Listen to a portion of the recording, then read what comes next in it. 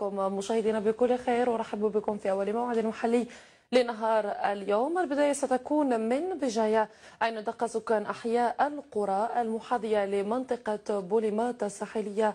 نقوص الخطر جراء الاعتداءات والجرائم المتكررة التي يرتكبها منحرفون في هذه المنطقة أمام انعدام الأمن. التفاصيل مع رابح صايش وانجم بوكرش منطقة بوليمات الساحلية بولاية بجاية تعرف تزايد كبير للاعتداءات والجرائم ضد المواطنين.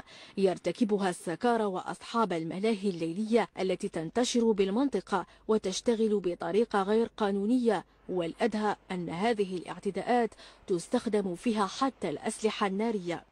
Faut dire les choses en face, il y a des lieux de prostitution, de débauche, euh, il y a des bars clandestins, des débits de boissons clandestins. Il faut savoir une chose, ils se sont attaqués plusieurs fois aux habitants d'Aïe avec des armes blanches, avec des armes à feu carrément. Et puis il y a toujours des crimes.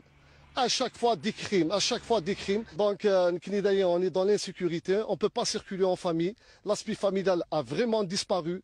تنظيف هذه المنطقة المحافظة من شتى أشكال الانحراف قضية تعني جميع السلطات التي تم إبلاغها بتقارير كتابية موقعة من سكان أربعة أحياء والقرى المجاورة لمنطقة بوليماط.